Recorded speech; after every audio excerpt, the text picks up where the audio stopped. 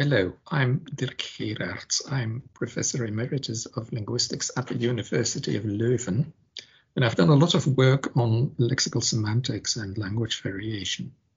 Theoretically, I have strong link with cognitive linguistics, and that cognitive linguistic orientation is also what triggers my interest in phenomenology for two reasons. First, a central feature of cognitive linguistics is its interest in linguistic conceptualization and categorization through and in language. But crucially, these cognitive phenomena are seen as grounded in experience.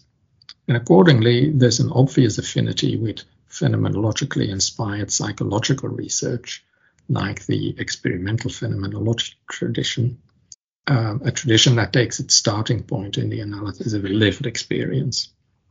But beyond that, I'm also intrigued by the more philosophical side of phenomenology, because one of the sticky problems in cognitive linguistics is the tension between largely universal bodily uh, experience and highly variable sociocultural experience.